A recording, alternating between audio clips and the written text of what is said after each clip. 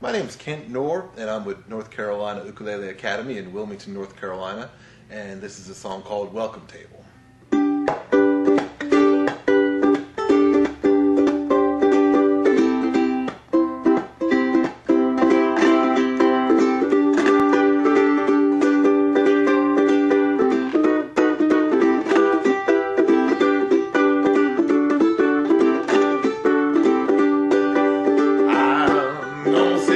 the welcome table.